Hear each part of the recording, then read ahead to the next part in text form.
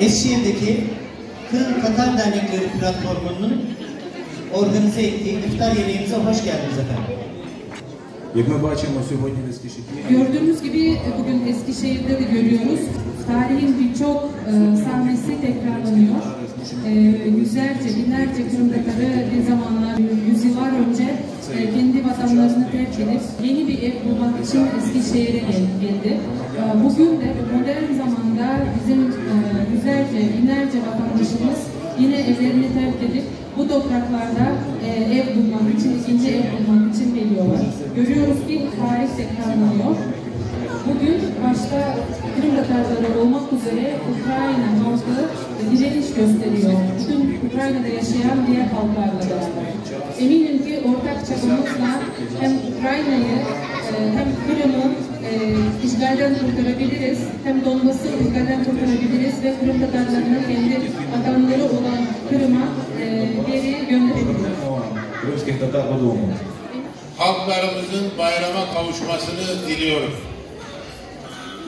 Şu görüldü, Ukrayna bir millet oldu. Ukrayna direndi ve Ukrayna belki Kurtuluş Savaşı'nı veriyor. Kutluyorum. Başarılar diliyorum. Canı gönülden onların kazanmasını istiyorum. Kazandıktan sonra da Türkiye olarak, Eskişehir olarak, Odun Pazarı olarak bizim üstümüze hangi görev düşüyorsa karşılamaya hazırız. Yerine getirmeye hazırız. her zaman olduğu gibi Rusya'nın zulmünden bu manzara ortaya çıktı. Dünyada Rusya'yı en iyi tanıyan Kırım Tatarlarıdır. 500 yıldır mücadele ediyoruz. 400 defa, 4 kere sürgünlere, soykırımlara kavuştuk. sevgili misafirlerimize inşallah bu acılar bir an önce son bulur ve sevdiğiniz vatanınız sadece Ukrayna, Kiev ya da Herson değil ama asıl Kırım'a da bir an önce gönül rahatlığıyla dönebilirsiniz evlatlarınızla birlikte. Bu acıların bir an önce dinmesini diliyorum. Bu savaşın, bu zulmün, bu işgalin bir an önce sona ermesi hepimizin burada ortak dileği.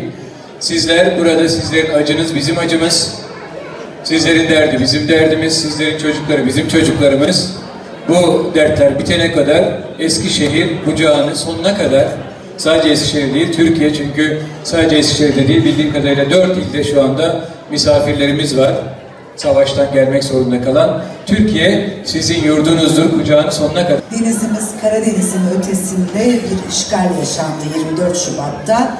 Benim dilim savaş demeye bile varmıyor. Gerçek anlamda bir işgal yaşandı ve aynı bizim Kurtuluş Savaşı'nda topraklarımızı savunduğumuz gibi yine topraklarını savunan insanlar bu acıya ortak oluyorlar. Gerçekten çok acı bir şey yaşanıyor Ukrayna'da. Çocukları gördüğümüzde, gelen yurtlarını terk eden kadınları gördüğümüzde içimiz yanıyor. Ve tüm dünyaya ben özellikle hatırlatmak istiyorum. Ebedi önderimiz Mustafa Kemal Atatürk'ün söylediği gibi yurtta barış, dünyada barış diyorum. İçler acısı bir durum. Gerekirse Avrupa Konseyi'nde, gerekirse Türkiye'de her zaman Ukraynalılar için çalışacağız, destek olacağız. Şöyle bir dünyaya baktığınızda Türkiye'nin dışında elini taşın altına koyan kaç ülke var? Her anlamda. İşte dost böyle günlerde ortaya çıkar.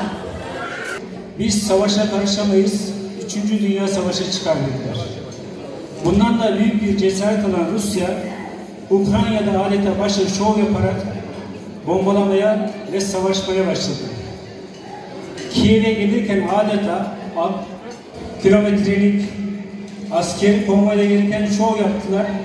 her zaman Kırım Tatarlar yanındaydı. Tek şimdi değil, sürgünden de kaytılan zamanda. Başka ne kadar zor günler olsaydı Türkiye milleti, Türkiye Cumhuriyeti her zaman yanımızdaydı. Büyük teşekkür bildirmek istiyorum herkese. Buradaki kardeşlerimin, şu anda evlerinden uzakta olan buradaki kardeşlerimizin duygularını yürekten paylaşıyorum. Ben de çok üzgünüm. Ukrayna'daki bu korkunç savaşın bir an önce durdurulması için dua ediyorum. Ukrayna halkının çektiği acıların bir an önce dinmesini istiyorum.